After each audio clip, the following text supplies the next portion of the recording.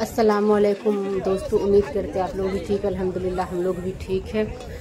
तो अभी हम लोग जा रहे थे जंग बदर के ज़्यारत के लिए। तो जब भी आप जंग बदर के ज़्यारत के लिए जाएँ तो आपको बीच में एक कुआँ मिलेगा, जैसे मतलब रास्ते में ही पड़ते हैं बीर शिफा करके। कहा जाता है इस कुएँ की पानी में बहुत शिफा है, बहुत सारी बीमारियों के लिए शिफा है। तो इस, क्योंकि इसका नस्बत हमारे आका हजूर वसल्लम से है।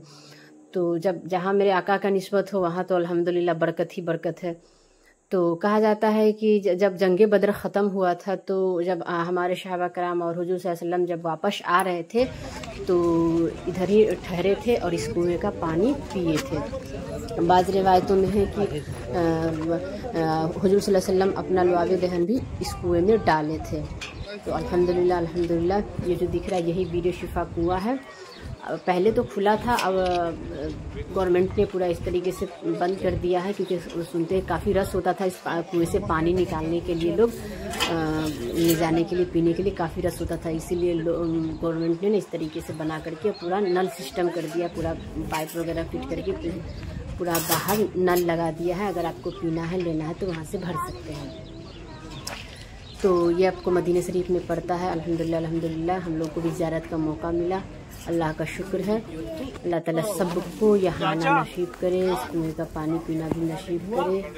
अल्हम्दुलिल्लाह अल्हम्दुलिल्लाह अल्हम्दुलिल्लाह, यही जो दिख रहा है, यही है बीटी शिफा काफ़ी मतलब आप देख सकते होंगे चारों तरफ़ से पूरी पहाड़, पथरीली पहाड़ है। इधर जितने भी पहाड़ दिखते हैं, सारे पथरीली पहाड़ है। पूरी हर तरफ़ देखे होंगे।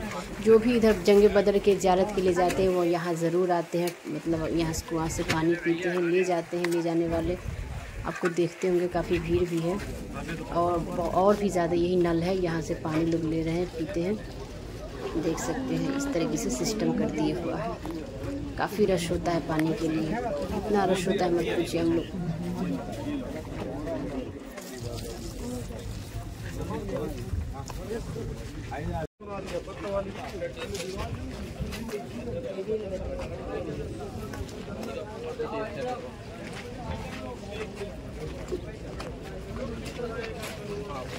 पानी भरने के लिए लाइन देख लीजिए।